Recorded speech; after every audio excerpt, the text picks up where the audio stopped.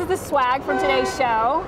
It would have been great to be in the audience because you got a pan and you got some pasta and you got um, a bamboo camisole sleeping thing.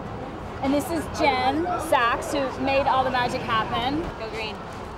She's the one who helped build up this whole green segment today on Martha. Martha's great. Martha's really smart. Um, she seems really committed to envir environmentally friendly um, products, and um, she was talking about her daughter, who she said was a fanatic, even even more uh, committed to this than I am. So I like hearing that. And Martha has cork floors in her house, and I hope that she'll do a lot more segments, and I hope that we'll get to come back and do more.